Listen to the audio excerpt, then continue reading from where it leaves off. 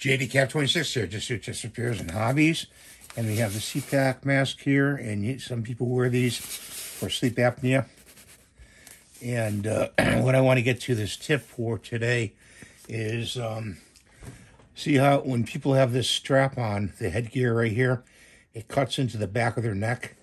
And when it cuts into the back of neck, over time, it, it'll cause a sore. And it's very uncomfortable. But you need to wear your sleep, your sleep apnea mask. And what you're going to do to remedy that is you're going to take the mask off. Okay, so let's let's see if we can take this off here. I've got it really wrapped around here. I take it off. Okay. And this will work, definitely. I've been doing it for years. Take a dish towel, put it on your head like this.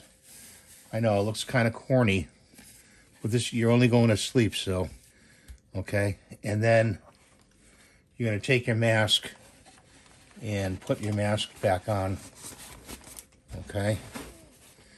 And that'll cushion that'll cushion your neck right here, okay. Um, it won't cut into the strap, won't cut into your neck. It'll be very comfortable. So I want to show you that. I hope this tip helps you, and I hope you uh, have a better uh, sleep at night because of it.